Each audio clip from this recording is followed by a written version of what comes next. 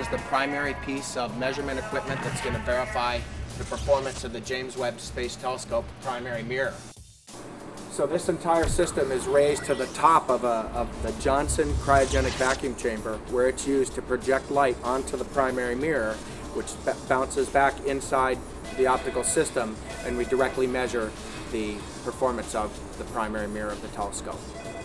It accurately measures the height difference between the 18 segments and tells you the surface figure of the mirror to accuracies well below a 10,000th of a human hair. If you took that primary mirror and made it the size of the United States and you had a mountain in the middle of it, we could measure the height of that mountain to an accuracy of a dime. Inside this can is a computer generated hologram which is used to calibrate the optical performance of this system.